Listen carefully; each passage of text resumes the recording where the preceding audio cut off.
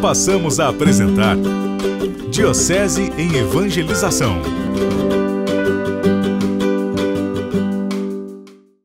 E a palavra de Deus que nós escutamos hoje nos faz experimentar também na nossa vida esta alegria, esta alegria que vem de Deus, esta alegria que transborda, que enche o nosso coração ao nos alimentarmos também desta palavra hoje.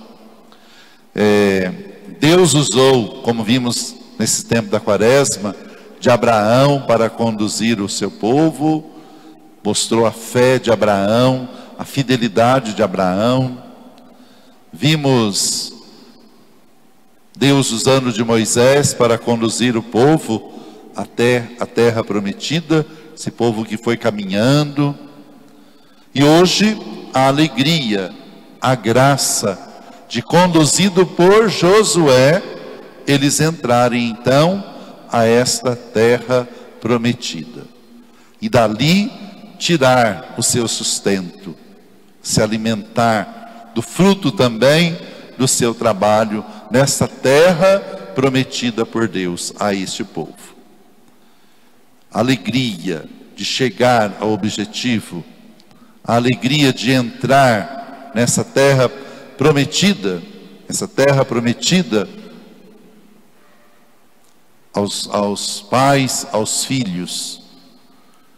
Então, essa palavra hoje também, irmãos e irmãs, nos convida né, a experimentarmos também na nossa vida esta alegria da presença, do amor, também do cuidado que Deus tem para cada um de nós que somos seus filhos. Obrigado, Senhor, por amar infinitamente a cada um de nós.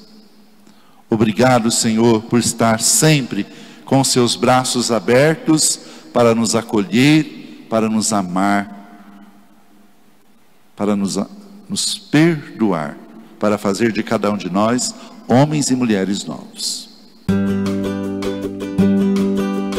Diocese em Evangelização.